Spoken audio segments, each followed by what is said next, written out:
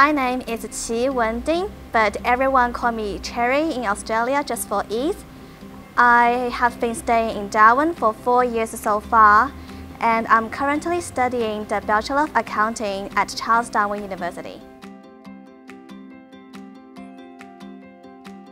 Especially for Charles Darwin University, it's a small class education, so um, you will have more um, chances to interact with the lecturer and your fellow um, classmates in the class. The reason I stay with Charles Darwin University is because I think Darwin offers more opportunity than universities elsewhere in terms of scholarship availability, worker replacement, and small class teaching.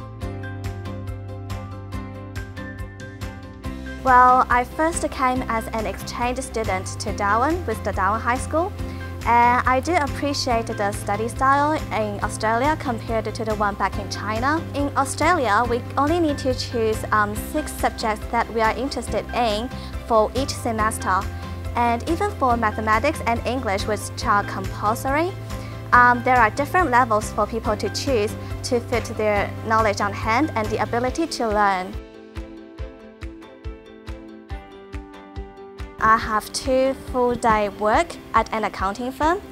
Um, and on the weekend, I have been um, teaching Chinese to the kids um, every Saturday morning for four years so far since I came to Australia. I guess it's not only about teaching Chinese to the kids, whether they are from mainland China or whether they were born in Australia with or without a Chinese background knowledge, but also it's a potential way to spread the Chinese culture and to improve the relationship between China and Australia in the future.